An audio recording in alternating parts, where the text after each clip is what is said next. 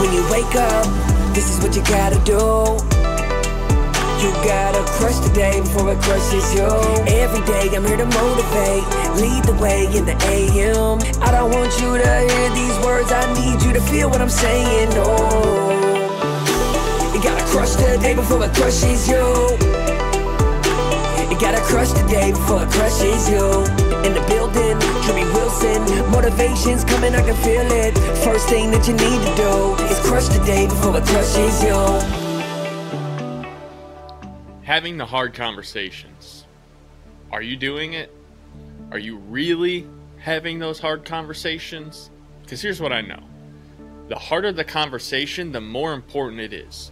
Because it's ultimately what's going to allow you to take the step from where you are to where you're trying to go. Because a hard conversation is literally a roadblock on the journey to a better relationship, to a solved problem, to a greatness that only you can describe because you know what hard conversations need to be had.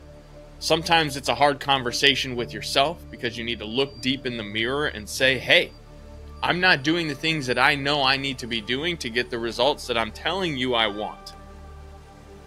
And that's a hard conversation.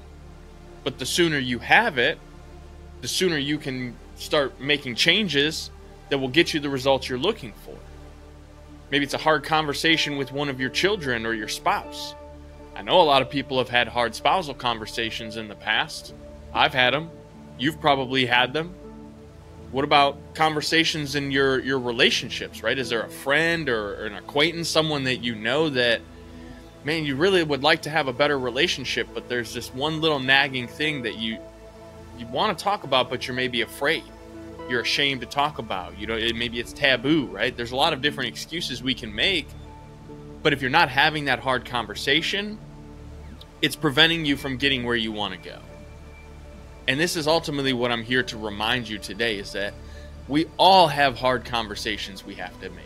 It, it doesn't matter who you are. At some point, you're going to approach a situation, it could be even today, that you're having a hard conversation with someone. But the longer you put it off, the harder it's gonna be. It's kind of like a cavity in your, your teeth, right? You know, it might hurt a little bit now, but if you keep putting it off and keep putting it off, eventually it gets so bad you need a root canal. And I can tell you, because I didn't take care of my teeth, teeth as a kid, the longer I put those things off, the worse it got. And those root canals are way worse than just going in and getting that little cavity filled. So, what are the hard conversations in your life that you need to have?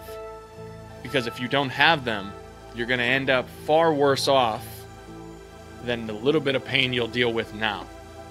So go have those hard conversations, get where you're trying to go, and crush the day. If you enjoyed this episode, be sure to go back and check out all the previous episodes. Make sure you subscribe and share this podcast with other like minded, success driven individuals who want to crush it. Check the show notes and grab your Crushing the Day swag over at crushingtheday.com. And remember, crush the day before it crushes you.